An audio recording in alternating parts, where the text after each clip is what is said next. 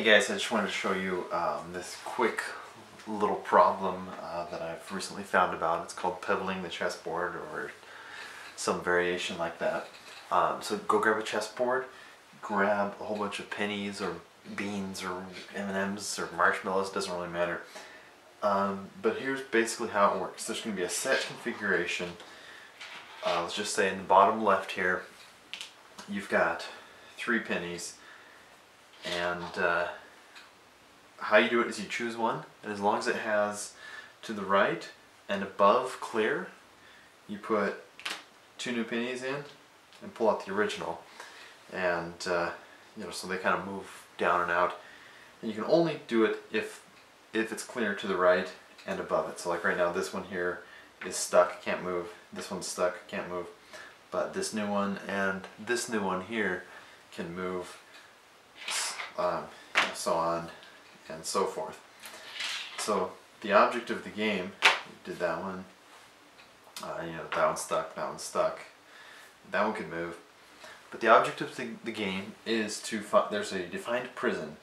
In, in this case, it's these three squares right here. And you want to clear those completely of the pennies. Um, so you see, you can see in this case here, I've got one here that uh, that's still in the prison from the original three that I started with.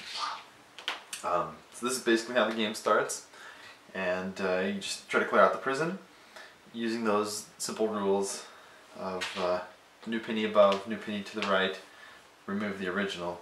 Uh, you can try different variations, like your prison of three squares.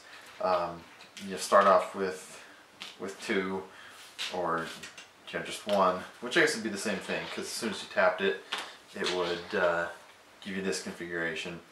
Um, but you can you know, keep going and work it to get your guys out of the prison.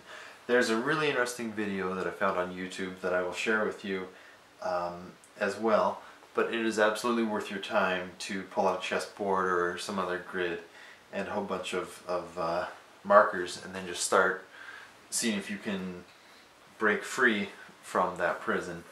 And uh, from what I understand, instead of just an 8 by 8 board, you would actually have an infinitely uh, tall board and infinitely wide. So you could you could do quite a bit. Um, but it's it's a lot of fun just to kind of figure it out with with uh, just the chessboard.